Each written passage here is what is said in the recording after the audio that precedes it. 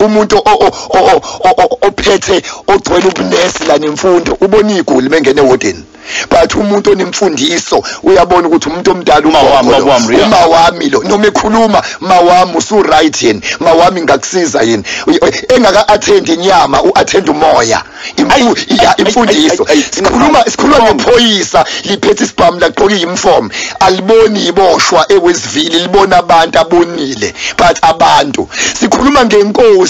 Ekwazi ukwehlela abantu noma isesihlalweni Ay, awu. sikhuluma ngopresident othi meboniswa abona abantu unemfundiso. Noma engayanga esikoleni udle ngemfundiso sibiya izwe linje nje nje kulahleka imfundiso lento ekuthiwa umuntu. Sigxeke iy'kole kumanje o-multiracial lezi ingane ey'funda e-multiracial ayihloniphi azinjani? Akona umsebenzi we-multiracial ukufaka imfundiso umsebenzi wasekhaya. Hambe emabhasini manje iy'ngane ibangumsindo zihleli phansi abantu abadala bamile. Iy'ngane azazi ukuthi abantu abadala yini. Uyayibona in 20 years to come hlobonye generation ezoqhamuka la. Bheka iy'ngane zamantombazane ema-colleges universities ey'koleni zibhema ogwayi phambi kwabantu abadala.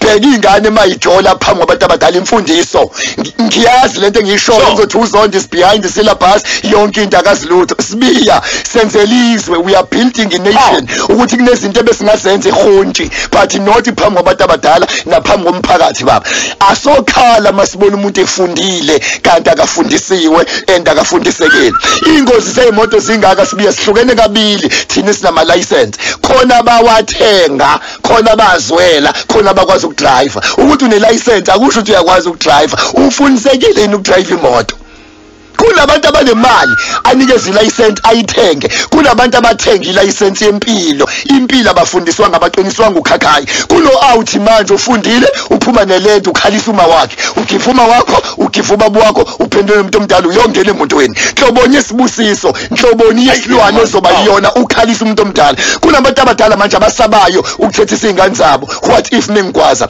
what if menza ukuthi? What if menzani?